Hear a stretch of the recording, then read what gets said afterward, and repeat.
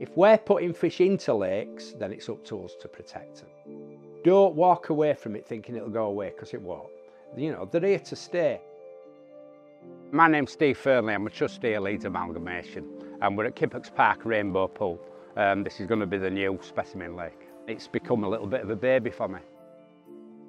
We stocked some fish and unfortunately within a couple of months of those fresh fish going in we got a call that there was a fish on one of the islands. Um, I drove up scared to death what it could be. You can't mistake an otter kill can you? It was time for action so that's when we got in touch with Angling Trust and see what they could do for us. Richard came down, gave us a walk around, told us what we needed, and it was a matter of, well, get cracking.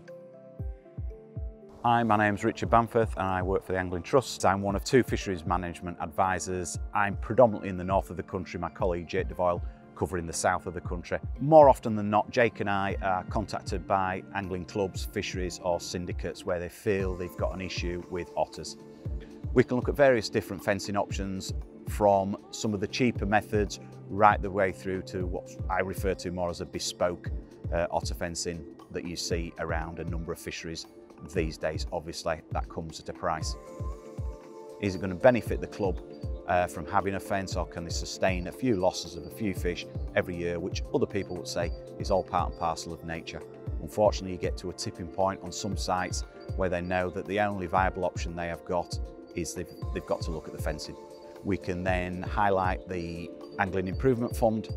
Uh, we will assist those clubs going through the application form and where appropriate offer the necessary advice.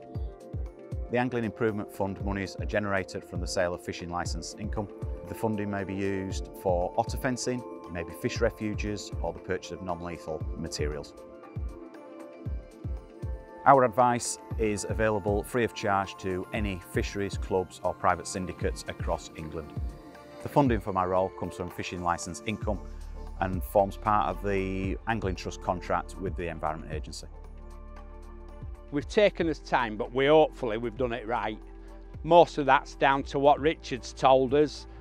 This is our danger point. We've had to put a grill on front of here and there's nothing going to come through there.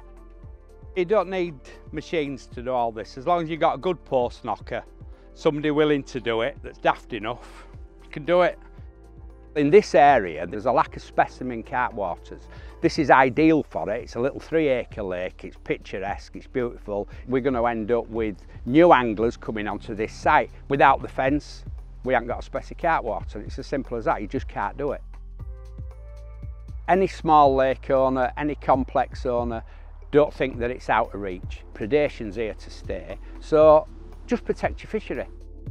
You couldn't do a job like this without the Angling Trust. The finances, we couldn't do it. And that would mean another unprotected lake without the Angling Trust.